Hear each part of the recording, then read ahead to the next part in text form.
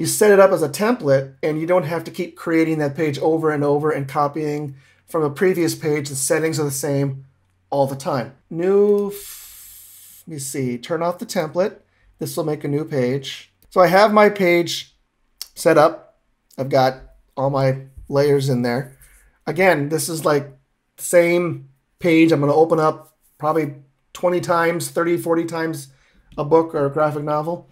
Then you go to edit, which again you can't see, and you go down to register material and you click template. Change its name. All materials, because the software wants you to put it somewhere. Um, let me see, manga material, framing. Okay.